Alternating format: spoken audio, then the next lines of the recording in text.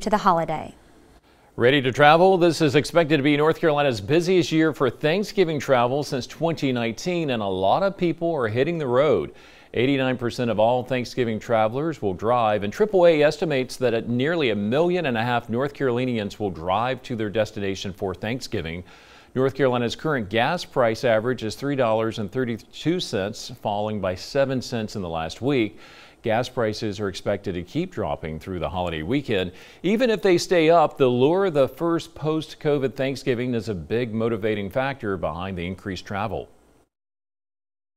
We're still paying, you know, about 10 cents more than we were this time last year, uh, but that's not going to stop people from traveling. Everybody's so eager to, to get behind the wheel and go visit their family, their friends, and their loved ones. They're not going to let higher gas prices or inflation stop them from doing so. The possible price decrease is due to a strong refinery output, which could lead to a big gain in the gas supply. The five day Thanksgiving holiday travel period begins tomorrow and runs until Sunday.